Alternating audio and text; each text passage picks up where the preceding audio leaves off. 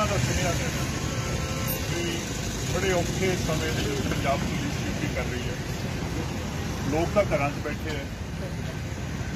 ਇਸ corona virus ਤੋਂ ਬਚਣ ਲਈ ਤੇ ਪੰਜਾਬ ਪੁਲਿਸ ਆਪਣੀ ਜਾਨ ਖਤਰੇ 'ਚ ਪਾ ਕੇ ਲੋਕਾਂ ਦੀ ਸਲਾਮਤੀ ਵਾਸਤੇ, ਮੁਲਕ ਵਾਸਤੇ। ਸੋ ਸੀਐਮ ਸਾਹਿਬ ਦਾ ਇਹ ਹੁਕਮ ਹੈ ਕਿ ਇਲਾਕਿਆਂ ਦੇ ਜਾ ਕੇ ਸਾਰੇ ਅਫਸਰਾਂ ਨੂੰ ਇਸ ਦਾ ਧੰਨਵਾਦ ਕਰਕੇ ਆਉਣਾ ਸ਼ੁਕਰੀਆ ਅਦਾ ਕਰਕੇ ਆਉਣਾ ਔਰ ਇਹ ਵੀ ਕਹਿਣਾ ਕਿ ਇਸ ਜਦੋਜਹਿਦ ਦੇ ਵਿੱਚ ਤੁਸੀਂ ਇਕੱਲੇ ਨਹੀਂ ਪੰਜਾਬ ਦੀ ਜਨਤਾ ਵੀ ਤੁਹਾਡੇ ਨਾਲ ਖੜੀ ਹੈ ਤੇ ਪੰਜਾਬ ਦੀ ਸਰਕਾਰ ਵੀ।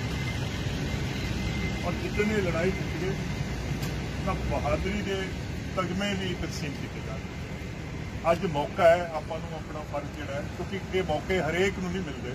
ਅੱਜ ਤੋਂ 40 ਸਾਲ ਪਹਿਲਾਂ ਕੋਈ ਪੁਲਿਸ ਅਫਸਰ ਹੁੰਦਾ, ਹੋ ਸਕਦਾ ਸੀ ਕਿ ਬਿਨਾਂ ਕਿਸੇ ਇਨਸੀਡੈਂਟ ਤੋਂ ਸਾਰੀ ਸਰਵਿਸ ਨਿਕਲ ਜਾਂਦੀ। ਸੋ ਆਪਣੀ ਇਹ ਸਰਵਿਸ ਜਿਹੜੀ ਹੈ, ਔਰ ਸਰਕਾਰ ਨੇ ਫੈਸਲਾ ਕੀਤਾ ਕਿ ਪੁਲਿਸ ਦੀ ਜਿਹੜੀ ਇੰਸ਼ੋਰੈਂਸ ਵਗੈਰਾ ਉਹਦੀ ਰਕਮ ਵੀ ਕਾਫੀ ਵਧਾ ਦਿੱਤੀ ਜਾਏਗੀ।